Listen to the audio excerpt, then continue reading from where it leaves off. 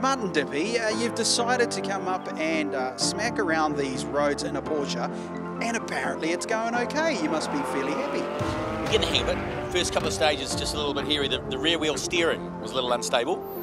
But uh, once we got the hang of that, well, we're actually starting to pick up a bit of speed, actually. Going good. And obviously results are incredibly important to you. Well, not really. We're just here for the participation and the morning teas, lunches and afternoon teas. That's important to us from the South Island. Yeehaw! Yeah.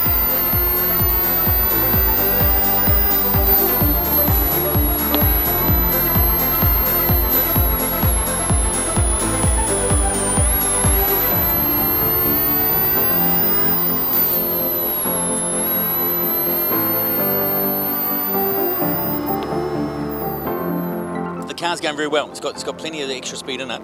Once you just get the hang of the, um, it's uh, it's very fast between 150 and 200. That's this that's this little bit of the um, getting used to that. But, but sequential box, change changing gears flat out, go nice. It's, it's a nice little motor car. That's better. That's a fast car.